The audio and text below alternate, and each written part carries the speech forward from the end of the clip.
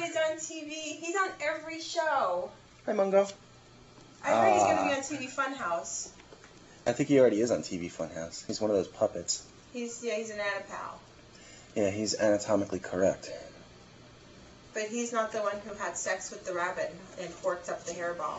The cartoons they show on Sunday Night Live are called TV Funhouse 2. Are they old or are they new? Because I wasn't watching it the last couple of years. I don't know. I haven't seen Saturday Night Live in eight years or so, and they oh, Mungo, still seem to have the same bad cast.